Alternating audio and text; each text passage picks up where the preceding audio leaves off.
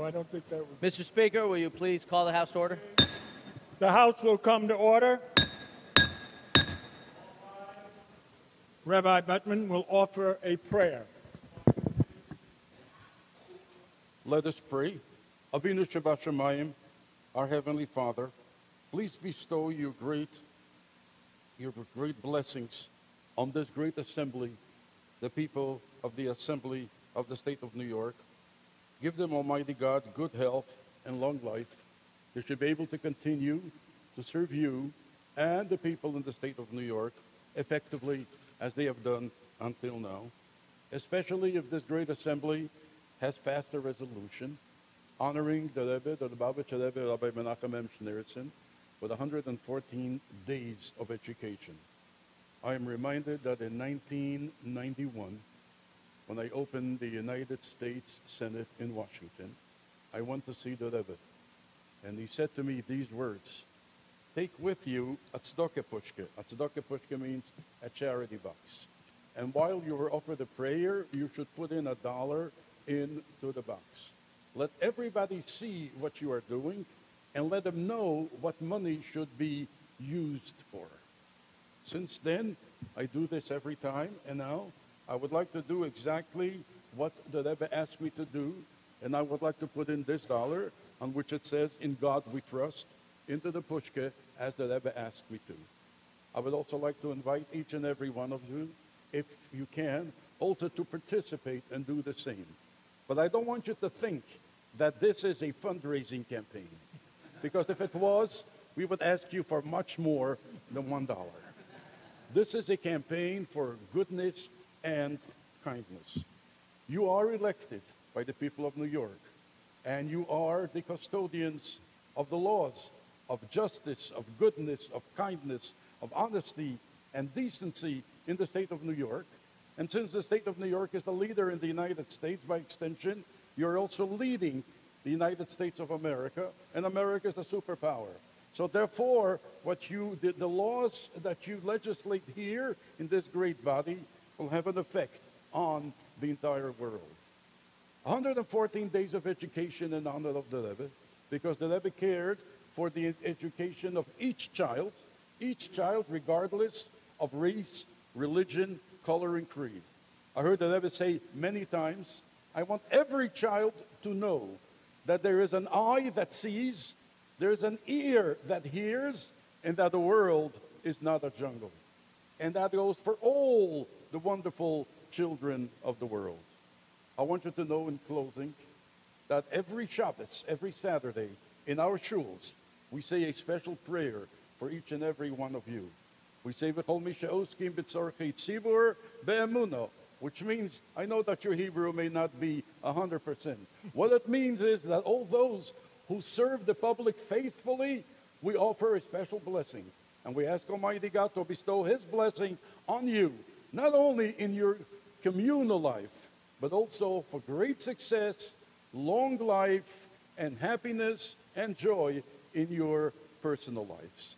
And let us say, Amen. Visitors are invited to join the members in the Pledge of Allegiance.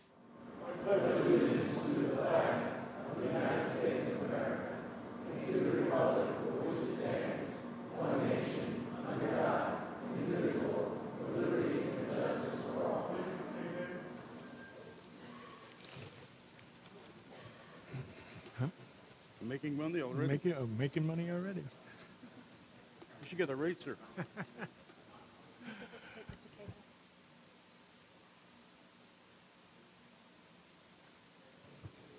A quorum being present, the clerk will read the Journal of Friday, April 8th. Mr. Morelle. Mr. Speaker, I move to dispense with a further reading of the Journal of Friday, April 8th, and that the same stand approved. Without objection, so ordered. Good afternoon, uh, Mr. Speaker, colleagues. Um, welcome back from uh, the weekend, and I apologize for getting started a little later today than we had expected, but, uh, but let me uh, try to uh, give members uh, in just a moment our schedule for the day. Before I do that, let me just note a few important things that have happened on this date in history, April 11th.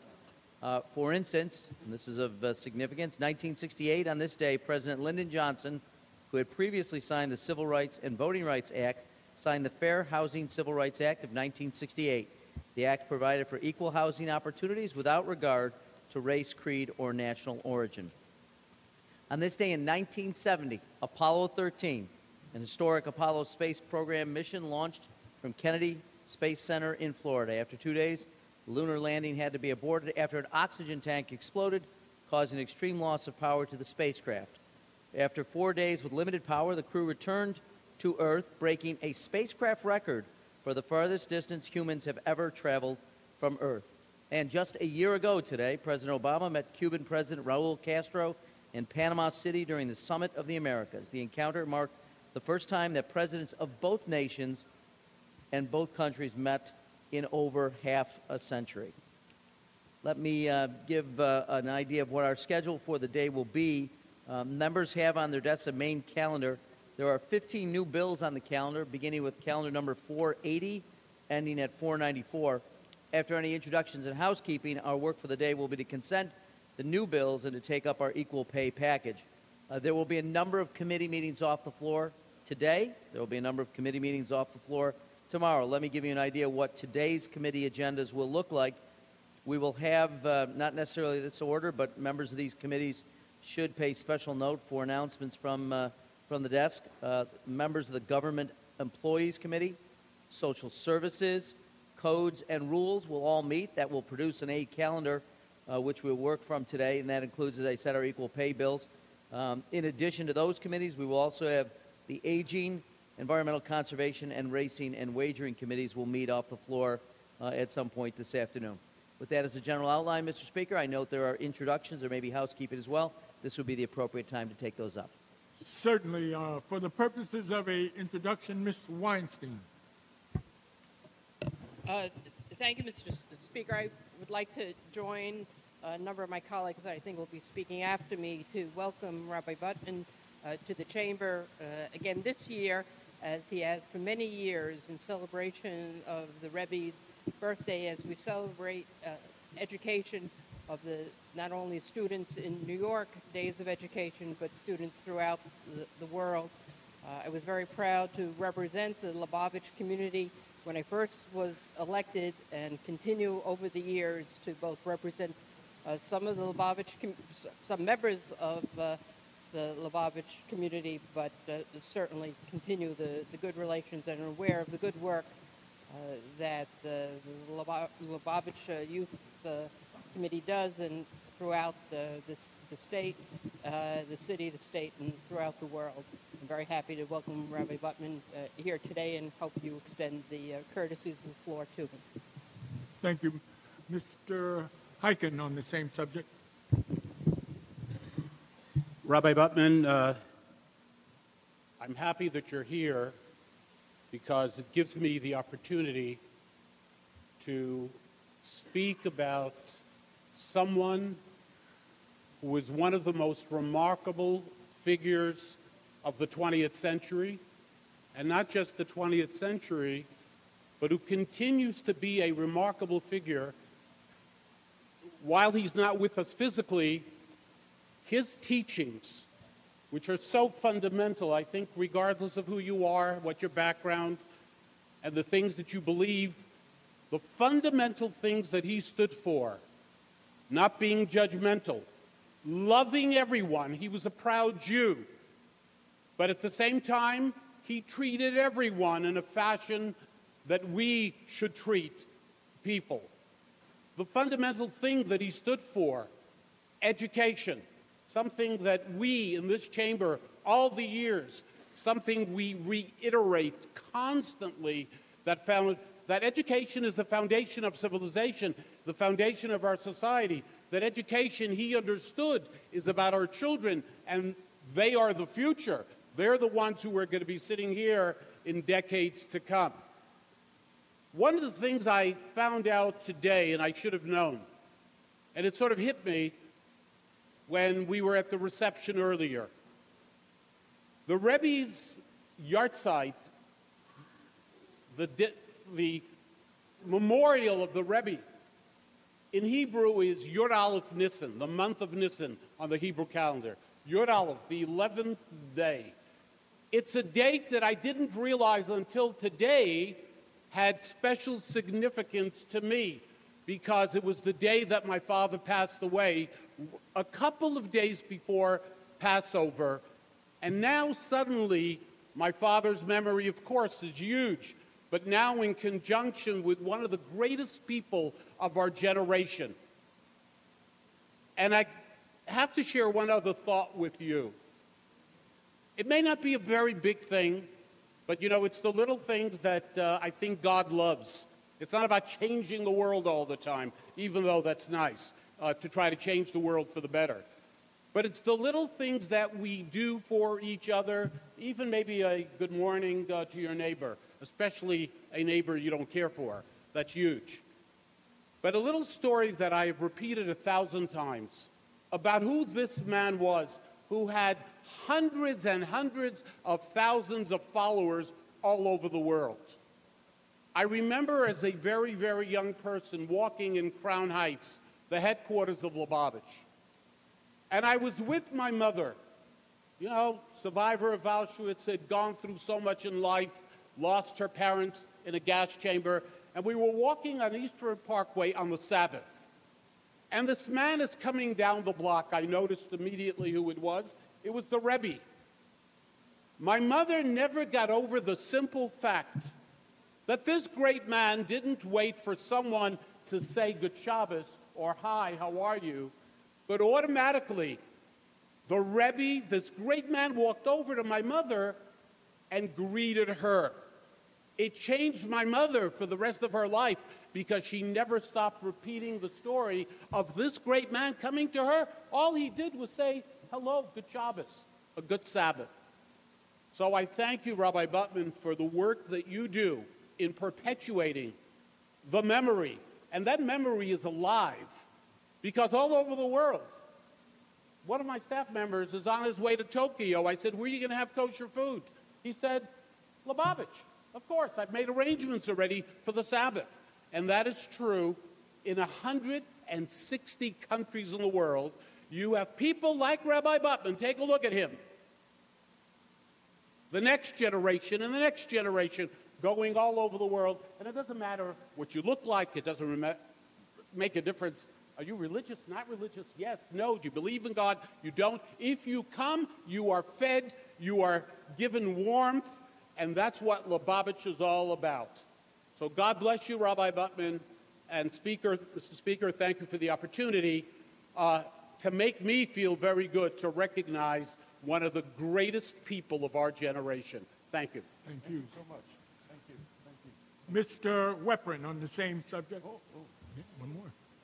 Speaker, uh, I too uh, want to welcome Rabbi Shmuel Butman uh, to our chamber as he comes uh, each and every year. Uh, Rabbi Butman uh, and my family, uh, my, my father as well as my late uncle, knew Rabbi Butman very well, were very involved in many of his activities, and I point out uh, each and every year uh, that due to Rabbi Butman, the uh, largest menorah in the world is in the middle of Manhattan in, by the Plaza Hotel on uh, 59th Street. And in each and every year, uh, Rabbi Butman uh, leads a delegation of individuals to light uh, a different candle uh, each and every night. And I've participated uh, in that ceremony many, many times, and it really gets to show the world the, the lights of Hanukkah and the, the tradition of Hanukkah. And that's only one small thing that Rabbi Butman does. He does so many other things for education, and I'm very happy to vote for this resolution approving the 114 days uh, of education uh, in, uh, in in honor of uh, Rabbi Menachem Mendel Schneerson, the Lubavitcher Rebbe's uh, birthday. Thank you. Thank you so much. Certainly, on behalf of uh, members Hi- Hikind, members Weprin, members Weinstein, we welcome you here to the New York State Assembly. We extend to you the privileges of the floor as we do every year. Your family, you're always welcome. Please come back and see us next year. Thank you very Thank much. you. Thank you very much.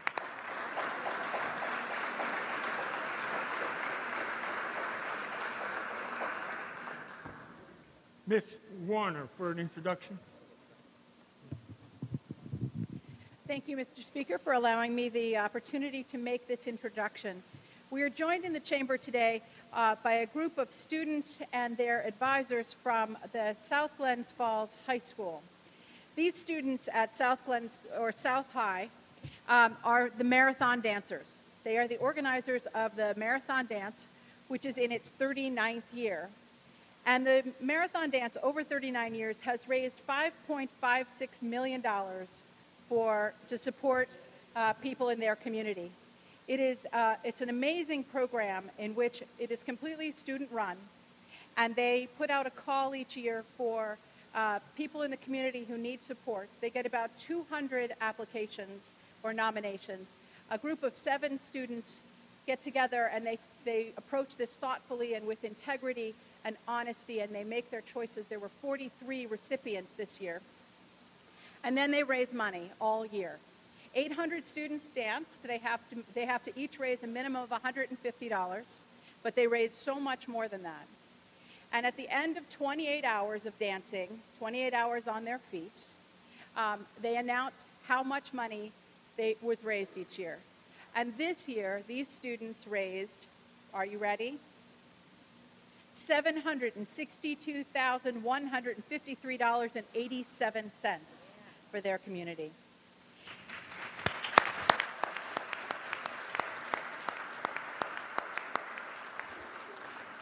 So it is my privilege to introduce you to the uh, student organizers of this year's event. They are all seniors. Um, we have Haley Weeks and Emily Boucher, Alexis Potter, Dylan Murphy, Nick Barden, Skylar Munson, Mackenzie Mayat. And they're joined by their adult advisors, um, Thomas Mayat, Jody Sheldon, Carla Viviano, and Superintendent of South Glens Falls High, uh, Schools, Superintendent Michael Patton. I ask you, uh, uh, to, on behalf of the, uh, those assembled, to welcome them to the chamber and offer them the cordialities of the House. Certainly, on behalf of Ms. Woerner, Speaker, and all the members, we welcome you here to the New York State Assembly. We extend to you the privileges of the floor. We congratulate you on the fundraising that you've done, a remarkable achievement. Uh, I am sure your hearts are filled with the joy of being able to help others. And what better way than to do it through dance? Thank you so very much.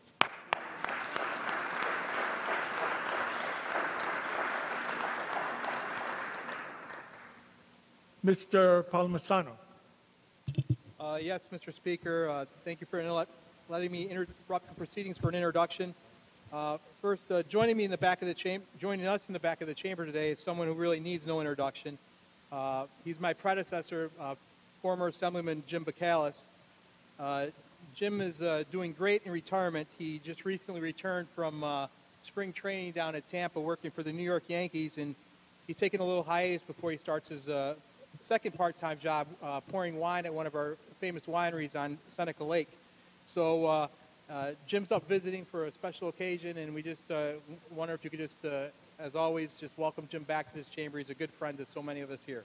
Certainly, on behalf of Mr. Palmesano, the Speaker, and all the members, Jim, welcome back. We're always glad to have you. As a former member, you are always welcome here, and you always have the uh, extend the privileges of the floor. Wine and baseball, can't think of a better life. There is life after the assembly. Thank you so much.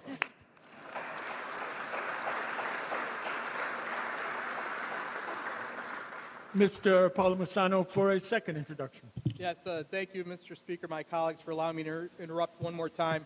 Uh, also joining, joining us in the chamber today is a very important person to me. Um, I first met this person in 1996 when we first worked together. We worked together for about eight years. Uh, her name is Liz Lesperance. Um, not only is, uh, uh, did we work together, but Liz is in some ways a second mother to me. Uh, in fact, she's, I consider a part of my family. She attended my wedding in 1998. My kids, who are now 13 and 11, always look forward to visiting Liz. Um, she's a familiar face to probably a number of you. Uh, those of you know Liz know she's a very special lady. Uh, she's known for her pleasant demeanor, being a caring person, a big smile, an infectious laugh, and her affection for some Red Cat wine. Uh, but, Mr. Speaker, my colleagues, not only is Liz a part of my family, but she's a part of our family. Uh, she's been a part of this institution, working in the Assembly for 39 years, worked for our conference for 39 years. Uh, she started on Valentine's Day in 1977, so that should show you her love and dedication for this place. Started with Glenn Warren in 1977 and worked 18 years until she actually worked for my predecessor, Jim Bacalles, in 1996, where she worked from 1996 to 2010. And it's been a privilege for me to have Liz on my staff since 2011. Well, Liz is uh, ending her retire, retiring at the end of the month after 39 years uh, to this institution. If you could just join me in thanking her, congratulating her, and wish her the very best uh, in her future endeavors. She's a big part of this institution, a big part of part of me, and I just wish you could extend the cordialities House. Certainly, Mr. Palmesano. On behalf of Mr. Palmesano, the Speaker, and all the members, Liz, you are family, so you always have the privileges of the floor. It seems amazing that you could come here and start working with us at one year ago, but I guess that's how it worked out. So happy to have you. Enjoy your next life. Thank you very much.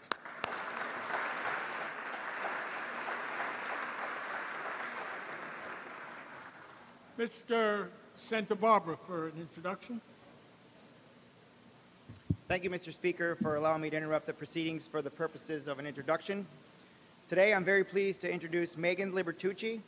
She is a teacher from the Schenectady City School District who was recently named the district's Teacher of the Year. Megan has earned this prestigious award through her tireless dedication to her students. She grew up in the capital region and graduated from Shenendehowa High School in our neighboring Saratoga County.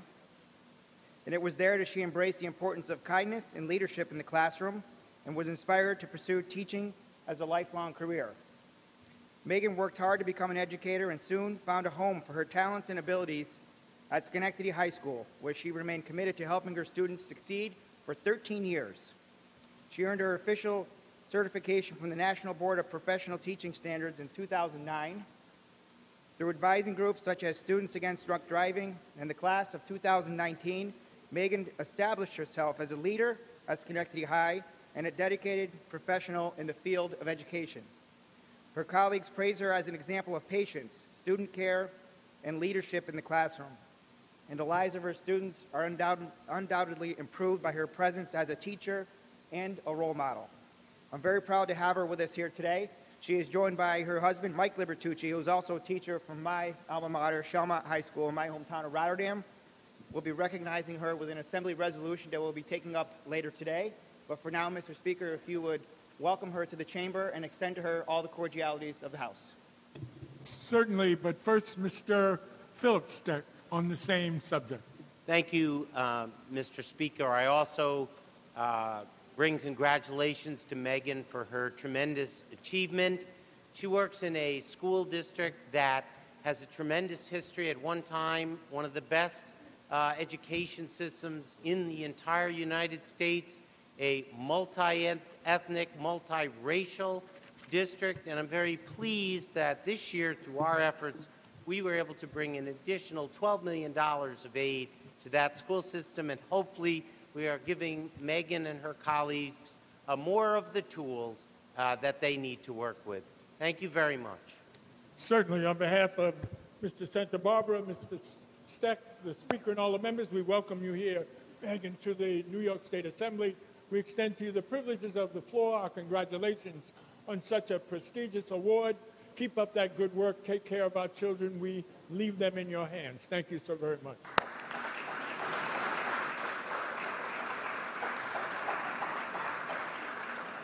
Mr. Linares. Thank you, Mr. Speaker, colleagues. Uh, I stand to welcome a distinguished uh, delegation uh, with us here today um, that we are welcoming uh, celebrating Russian American Heritage uh, Month. On March 30th, we adopted uh, a resolution proclaiming April 2016 as Russian American History Month in the state of New York. And I want to uh, thank um, Assembly Member Sepulveda and all the colleagues that co-sponsor this resolution on both sides of, of the aisle. And this resolution uh, basically highlights the significance significant contributions uh, of numerous individuals of Russian heritage, enhancing opportunity for Russian American youth uh, to take pride in their forebears and to identify with them as role models. Uh, this resolution highlights the achievement and the recognition of Russian invest- investors, um, inventors, scientists, literary and art figures, as well as the contribution of Russian immigrants to the United States of America and our state of New York. This year's Russian American History Month is dedicated to the 55th anniversary of Russian cosmonaut Yuri Gagarin's first space flight on April 12, 1961. Russian cosmonaut Yu- Yu- Yuri Gagarin became the first human in space, making a 108-minute orbital flight in his uh, Vostok 1 space, spacecraft. Mr. Speaker, I would like to uh, now name the distinguished delegation that we have here with us today. Uh, Father Alexander Gulubov, representing Bishop John, administrator of the patriarchal parishes in the United States of America. I would like to uh, also acknowledge Father George Kovnet, Chancellor of the Patriarchal Parishes of, parishes of the Russian Orthodox Church, USA. Irina Zapornova, celebrated singer and director of the Golden Rooster Group. I'd like to welcome Denis uh, Russian Youth Organization, New York. Roman Makhmutov, photographer. Julio Rodriguez, co-founder and board member of RAC-C. Olga Sepsepina, president of RAC-C Chair Coalition supporting Russian American History Month, vice chair. And from a delegation we have here from Albany, I would like to, um, from the New Russia Cultural Center, uh, welcome Tanya Deptola, president of New Russia Cultural Center in Albany. We also welcome Olga Alexandrova, Valentina uh, Sergeva, Marina Taborovskaya, Greg Lorne, uh, Irina Smirnova, Borognika uh, Stryker, Olga Belensky, Taisha Melchanka. Mr. Speaker, I ask that you afford all the privileges of the House and welcome this distinguished delegation. Certainly, on behalf of Assemblymember Linares, the Speaker, and all the members, we welcome this distinguished delegation here to the New York State Assembly. We extend to you the privileges of the floor. We celebrate with you this Russian History Month here in the state of New York. We hope that you will have enjoyed this, this visit and will come back and see us real soon. Thank you so very much.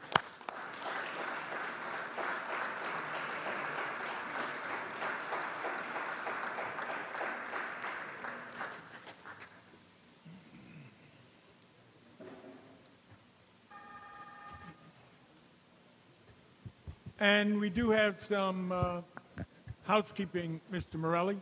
On a motion by Mr. Cusick, page 6, calendar 4, bill number 49, amendments are received and adopted. On a motion by Mr. Santabarbara, page 14, calendar number 112, bill number 2417B, amendments are received and adopted. On a motion by Mr. Kavanagh, page 17, calendar number 150, bill number 3389, amendments are received and adopted. On a motion by Mr. Aubry, page 47, calendar number 483, bill number 4409A, amendments are received and adopted. Mr. Morelle.